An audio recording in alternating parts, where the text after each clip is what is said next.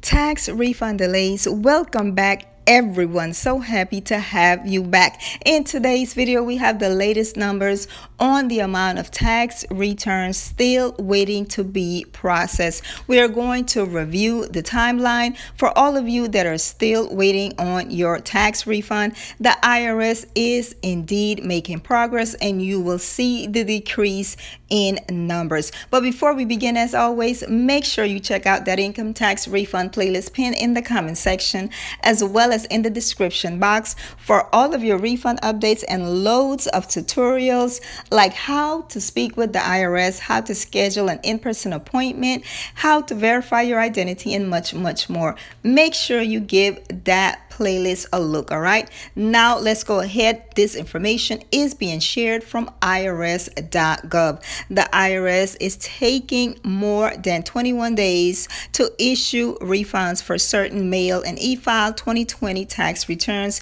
that require review. Mail correspondence is also taking longer to process. Now this first screenshot states here that as of july 31st 2021 the irs had 30 13.8 million on processed individual tax return.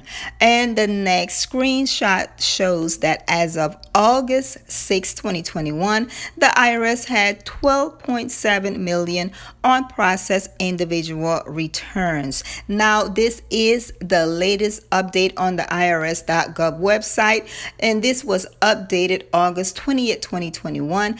As of August 13, the IRS had 11.1 million on processed individual returns.